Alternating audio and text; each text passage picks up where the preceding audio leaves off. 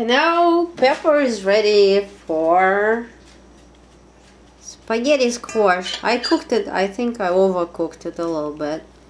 But um, see it looks like spaghetti. It tastes delicious.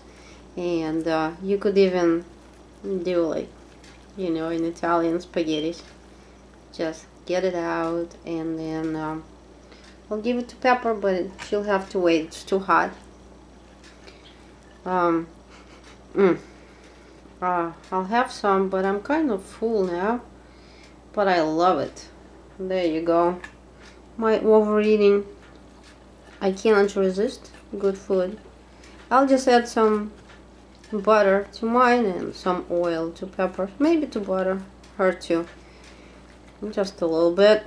And uh, for salt, just use salt.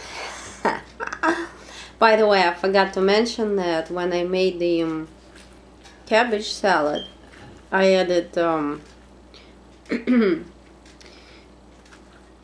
um, oh, when you're sick, your mind doesn't work well. Um, I just added apple cider vinegar before I um, before I put it to um, uh, into the food process. I mean, when I put in the food processor before I started the food processor.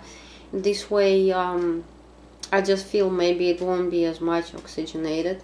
And I also add miso before I start the process. And this way it's all blended nicely and um, tastes good. Okay, so this is it. It's really good for you. I like all of these squashes. To your health! На здоровье!